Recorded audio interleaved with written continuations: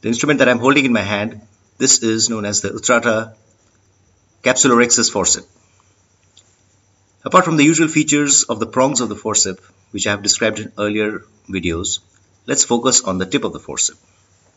First thing we notice is the tip is angled. This is the portion which enters the anterior chamber through the corneoscleral incision. And if you take a very close look at the tip of the forceps, we notice that the tip has got a finely curved forward bent hook and it is very sharp. This is the portion which is used for the capsulorhexis and how is it performed? We use an instrument called the cystitome through which a small stab incision is made on the anterior capsule.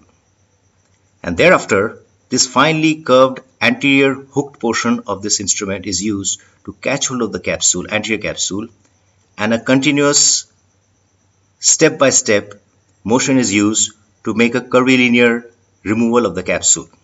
The process is known as capsular capsulorhexis and because it is in a circular fashion in the central portion of the cataractous lens, it is referred to as a continuous curvilinear capsular capsulorhexis. And this forceps is called the Utrata's capsulorhexis forceps. Please pay very close attention to the tip of the forceps. It's got a sharp forward hook of both the prongs of the forceps.